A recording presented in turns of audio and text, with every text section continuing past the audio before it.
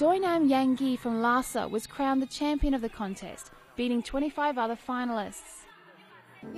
Prize encourages me to work even harder and better myself. While contestants strutted their stuff on the catwalk, the contest is also about celebrating Tibetan culture and environment.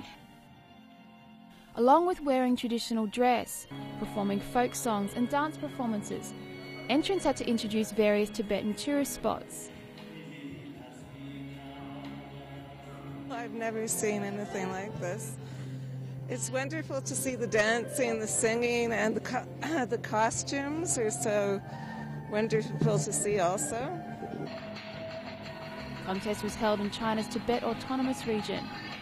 A number of contestants who took part in the four month competition have won the right to be called ambassadors and will help promote Tibet around the world.